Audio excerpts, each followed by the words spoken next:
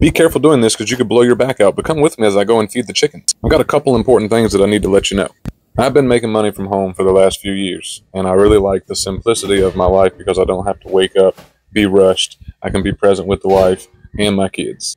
Back when I got fired in 2020, I really had everything flash before my eyes, and I was kind of worried about what was going to happen. But what I decided to do was go all in on myself. Again, that was something that was very, very fucking hard for me to do. But I still decided to do it anyway because I knew that if I did not try, I would not find out what I was truly capable of.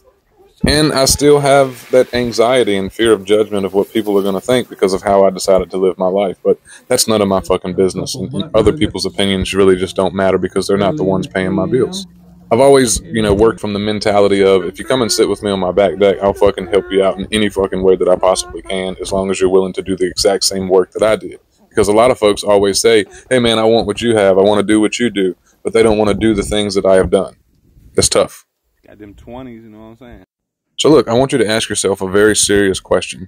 If you continue doing the things that you're doing right now, is your life going to be better or stay the same? And if you say stay the same and you don't like your current situation, then you're going to have to start doing some things that are going to change that situation. Because if you don't, then nothing's going to fucking change. This was the hardest thing for me to figure out. But once I figured it out, I knew that I could just hit the go button and I'd start to make things better.